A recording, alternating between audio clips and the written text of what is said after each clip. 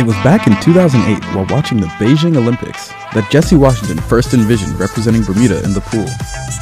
Just two years later, he competed in his first international meet in Florida and hasn't looked back since.